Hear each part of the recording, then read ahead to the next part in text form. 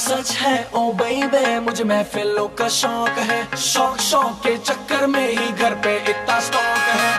Peg बनाऊँ कभी नाप के नहीं। अपनी पीऊं किसी के बाप की नहीं